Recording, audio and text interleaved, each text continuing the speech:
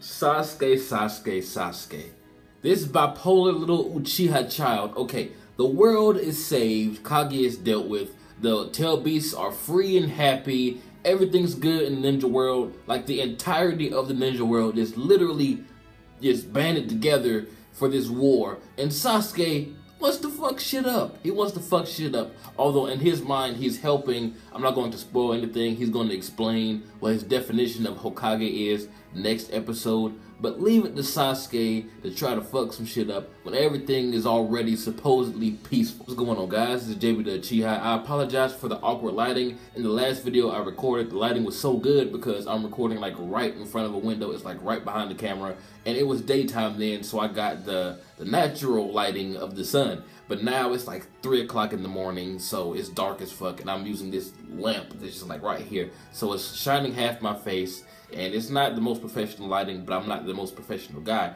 But in other news, after Saturday, I should be back to uploading regularly. That's when I'm getting Wi-Fi and getting some last little things done to my apartment that's going to allow me to have way more free time. But anyway, on to this episode. I love how Hagoromo was like, well, you two are about to fight. I gotta go. There's not shit I can do now. It's just funny to see the Sage of Six Paths, like this legendary badass ninja that we've been told of since forever ago. Like, well, there's nothing I can do. You guys gotta handle it yourself. I mean, he should just be able to bitch slap Sasuke into oblivion. But granted, he has used a lot of chakra. He's not even supposed to be here right now. He gave Naruto and Sasuke his power. You know, he pretty much summoned them back from that dimension that Kaguya had them in and all the beasts and everything. So he's used up quite a bit of chakra for a dead guy. You know, I have to give him that. But I mean, still, it's just funny to see how Sasuke is like, well, I'm going to pretty much take over the world, and I'm going to be this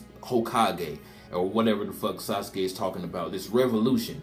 And he's just like, well, there's nothing I can do. I gotta go. It's just funny to see that. This episode marks the history. It's been done before, but never as beautifully and as pitiful as this. Sakura admitting how useless she is. I mean, I love, the Hitokage, listen very closely. I love how she says, Sasuke, I cannot trade blows with you, so I just have to sit here and cry like a bitch. I was like, finally realizing you're worth, Sakura. Let me stop because I really don't hate Sakura. It's just fun to hate on her for internet reasons and Hitokage reasons. But anyway, that Genjutsu uh, thing in the manga, I think the chapter ended right there, and it didn't look like translucent, like you couldn't see through Sasuke. There was no color, so it really looked like Sasuke, like actually Chidori'd her through her tit. Like I was like, damn. It wasn't as impactful or as shocking as it was in anime because it was obvious, like right off the bat, that it was a genjutsu. So, but anyway, I kind of wish it really was Sasuke's hand. But anyway, enough of the Sakura thing.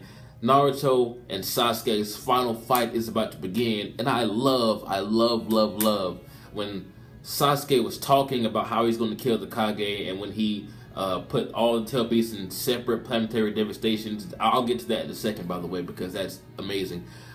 Naruto was like,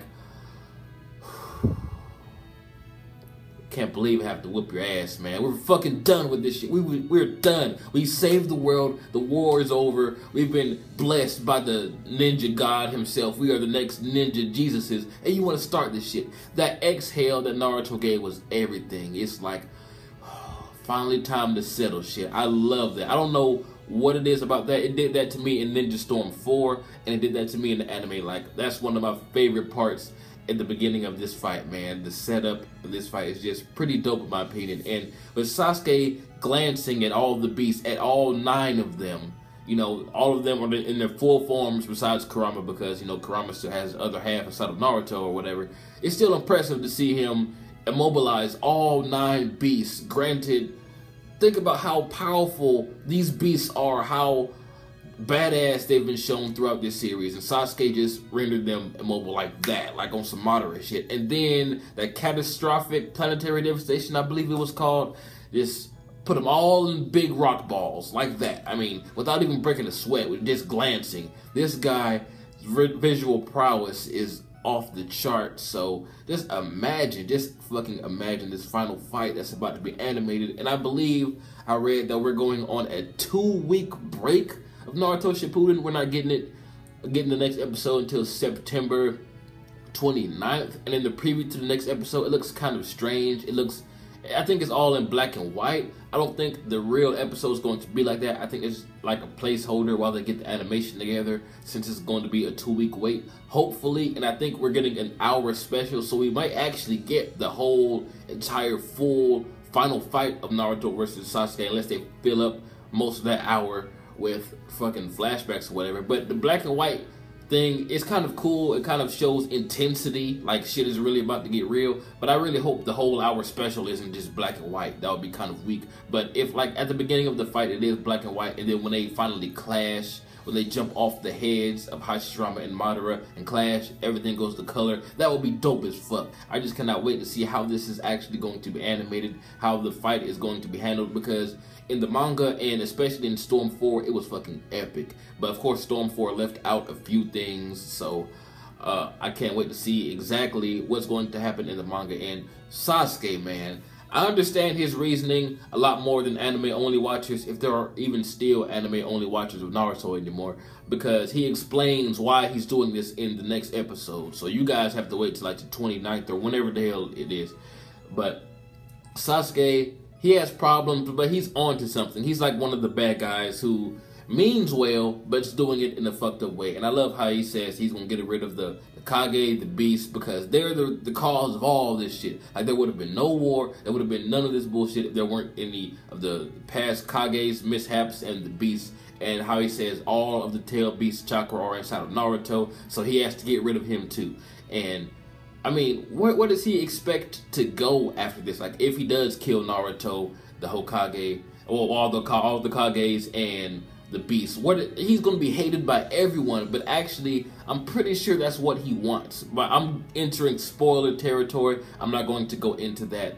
But I also love the part when Kurama was like, uh, uh, Eight Tails, what are you going to do? Are you going to go back to your Jinchuriki? Like, he wanted another Tail Beast to say they're going back to their Jinchuriki just so he can feel okay with his decision to stay with Naruto. Although, Hagoromo was like, hey, you stay inside this boy right here. He was, he, you could tell that he really wanted to be with Naruto. So just imagine, like, I think this entire series, he's had half of Kurama in him. Naruto has. So if he gets both halves, just imagine how fucking OP Naruto would be. I mean, his Biju mode and his newfound six paths mode is epic with the help of Kurama. Now he has all the chakra of all the tail beasts. Now he's going to have the other half of Kurama. What? He's going to be like the next 10 tails Jinchuriki, although he doesn't have the full tail beasts of, you know, all the beasts. He has their chakra or whatever. So, of course, Sasuke says, hey, Naruto, let's end this shit. You know where to meet. And then right then and there, like even in the manga when he said that, I knew they were going to the final valley, final valley, and I love how they jump on top of the respected heads of their, you know, the previous Ashura and Indra reincarnates or whatever. And I love how Naruto says, "This is not going to end the way that your son's battle ended. I'm going to stop this shit right now. The siblings." Squabbling ends today, goddammit. That exhale, that serious look on Naruto shit's about to go down. And man, just how Naruto said, this place brings back memories, doesn't it, Sasuke? I got nostalgia. I really want to go back and watch the part one Naruto fight before entering, uh, you know, this final fight. Although we have two weeks to do so because we're getting a break. Of course, they would give us a break right before the final fight of Naruto Shippuden. I mean, but I'm really hyped to see what this animation is going to be like, and like the end of Naruto is closer than we all would have expected, especially since the the next episode it says is going to be a one hour special that can easily take up the entire Naruto versus Sasuke fight if they stay away from you know like flashback and throwing in filler parts or whatnot. So actually, this show can end in like two or three episodes, but I believe I read somewhere after the Naruto versus Sasuke fight, there's going to be a filler of what happened between chapters 699 and 700. So we might have a long ass time of Naruto still. But yeah, tell me what you guys thought about this episode. What do you think Sasuke's motives are? If you don't already know, if you haven't read the manga, I'm pretty sure everyone knows. Everyone's played Storm 4 by now. Everyone's read the manga or had a friend who told them what the hell Sasuke's bipolar rant is about or whatever. So tell me what you guys thought Thumbs up for Sakura getting impaled by Sasuke, even though it should have been real.